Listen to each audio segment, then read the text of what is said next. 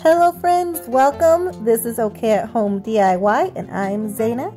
Today's video is Old Things Made New. I'm collabing with a few friends. I will tell you about them just a little bit. So I have been spring cleaning and I'm going into some old storage and cleaning things out and getting rid of things. And these old toys that my kids have not played with in years, I decided to give them a new life. Some of them have great memories attached to them, and others have just really cute shapes that I just didn't want to get rid of. And this cute little tin box at the end here. My kiddos use this for their kindergarten pencil box, so I wanted to keep it and repurpose it. So a little backstory on this house. I purchased it from the Target dollar spot quite a few years ago, 2017 or 18 for my youngest. This was his Paw Patrol house.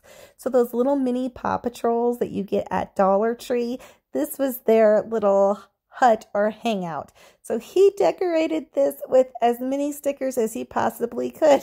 So these stickers are so old and they are not coming off very easily, but I am using the hair dryer to kind of break, you know, melt that adhesive. I'm using this scraping tool from Dollar Tree. Actually, this one's my actual Cricut one. But Dollar Tree sells one that looks almost exactly like this, but it's not Cricut.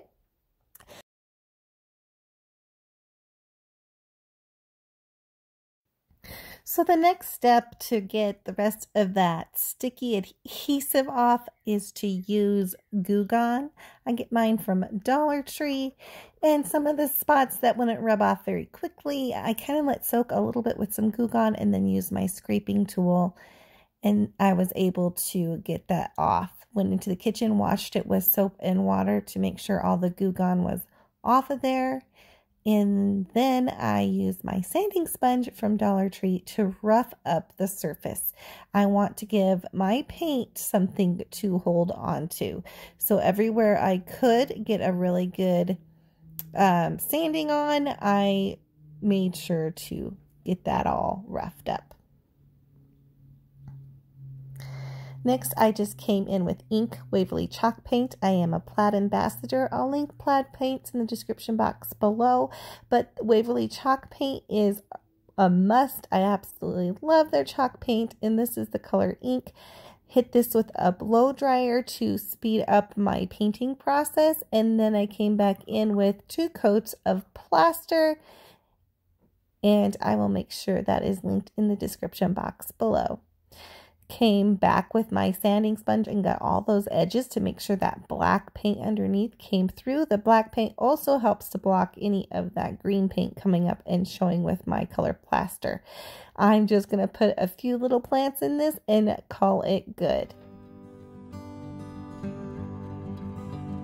From a toy shelf to farmhouse decor, I absolutely love this.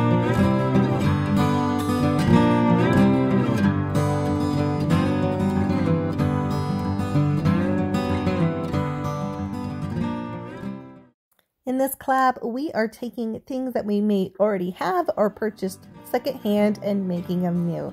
I'm excited to be collabing with Sun, CJ, Sharon, Tammy, LaParsha, and Mom. Marjorie, Shawnee, and Cindy couldn't make it, but Shelly, Connie, and Tammy. Please check out their channels linked in the description box below. You won't be disappointed. This cute little teapot is made out of metal and I just couldn't throw this away or give this away. My kids had so many fun memories. There's a few little accessories that came with it. Took this out to the garage, cleaned it up first, and then spray painted with this Rust-Oleum metal finish spray paint. This is called Bright Copper. I absolutely love this color. When it was all dry, brought it in and I decided to decorate this more for spring and summer. I did not get the bottom. That was just for reminiscence purposes. I wanted to be able to pick it up and remember that. This is perfect for country cottage or farmhouse decor. As a backdrop here, I'm using one of my corbels I made in my last video. I will link that in my description box as well as a card.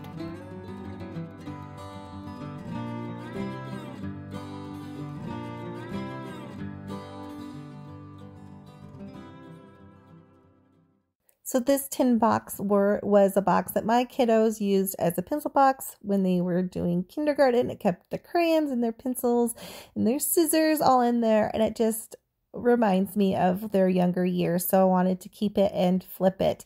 Taking some sandy blocks from Dollar Tree and giving this a good sand. I'm roughing up the the sealant here, the smooth, um, the smooth surface. So my paint has something to bond to. I am going to paint this with a Rust-Oleum white spray paint and, and has a flat finish to it. This also bonds to metal. I put it on a piece of paper so I can do kind of that lazy Susan kind of spin thing. I'm also painting in my garage so the wind doesn't blow half my paint away. But if you do that, just make sure you're wearing something so you don't breathe in all those paint fumes. When it dried, I did go back out. It's not quite in shot here, but I flipped it to its side and just spray painted the inside and then of course the other side just making sure it dries in between that that five minute dry time bringing it back in i want to create uh what is it called grain stripe pattern. Sorry, my brain just went dead for a second. I'm taking just a towel and I am defuzzing some of, or desticking the back of that tape. Now, I just didn't want that tape to be too sticky to pull off my spray paint. And I'm doing that to this smaller piece of washi tape. I know I did it again. My thin washi tape here is the same color as the project I'm painting. Sorry about that. Just that's just what I have. So I put a piece of thin washi tape down and then I put another piece of thin washi tape down. Going to the other side, I put a thin piece of washi tape down and then I'm going to peel up that big big piece of washi tape. So that's going to be my biggest stripe in the grain stripe. Next, I, since I have two pieces of the small washi tape there, I am peeling up just that one piece in the middle. So this is a spacer. And again, I'm going to come over on the other side with some big wide washi tape. This is just going to give me a stencil for my grain stripe. I always like to rub them down really well and then go over the top of them with some Mod Podge. This helps to just seal the edges and I don't get as many leaks of paint this way. So after that, I go right over the top of it with some Waverly chalk paint in the color Celery. I'll put that in the description box below as well.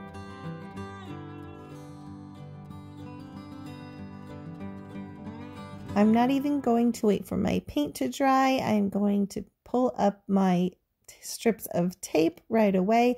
Always make sure I have a little bit of tails on the tape so that I can just grab them and pull them off. Look at that. Isn't that just, I love that when you finally reveal that.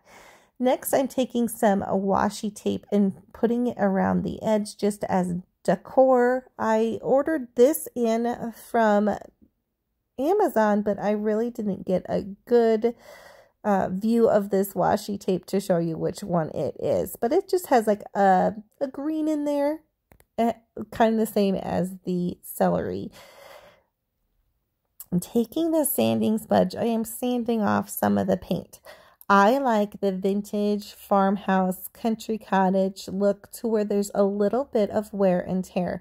So I'm making sure that I can close the lid and use it as well as just giving it a little bit of character there taking this wall sticker from Dollar Tree and I'm going to put this right on top. I just kind of cut it around the edges a little bit to make it match, trimming up the edge. And I love it. Bringing in some succulents to make this spring and or summer and just kind of setting them in there. I love how this turned out. I think all three of these projects are my favorite because they have sentimental value, but I actually can use them to decorate with.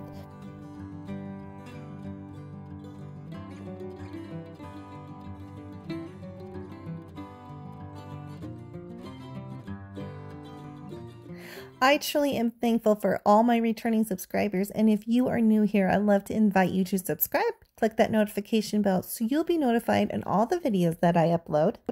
Please hit that thumbs up button if you like this content. Make sure you check out my friends that I'm collabing with today. And until the next time, everyone, you have a good one. Bye. Are you cute dog? You cute dog, Hank? Cute dog? Woody, go play? You Really, let me get your face, do you cute dog? These dogs are begging me for my apple core. Do your dogs do that?